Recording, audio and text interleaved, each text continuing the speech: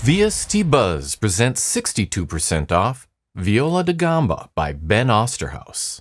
The viola da gamba is a six string Baroque instrument similar in size to the cello, but with a slightly different shape, and it uses frets. Its strings are tuned in fourths, and they're synthetic gut strings, which give it a strident, husky sound. The gamba's earthy tones can provide a rustic alternative to the classical string sound.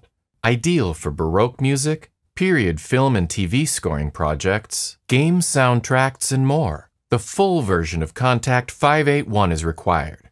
Will not work with the free Kontakt player. Download will be hosted via the Pulse application.